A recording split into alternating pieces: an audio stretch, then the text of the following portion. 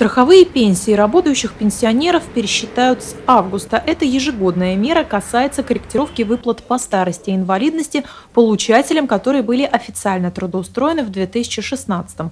Единственное условие в том, чтобы работодатель производил отчисления в Пенсионный фонд России. Размер выплаты зависит от тех взносов, которые были уплачены. Расчет производится в индивидуальном порядке. Максимальный размер прибавки ограничивается тремя пенсионными баллами, а это чуть больше 200 535 рублей. С 1 августа беззаявительный перерасчет страховой пенсии проведен для 75 тысяч пенсионеров. Это такая корректировка на пла э, плановая. Уже наши пенсионеры, которые работали, они ждут ее постоянно.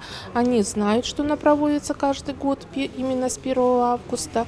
Поэтому, в общем-то, приходить зачем-то нет никакой такой необходимости.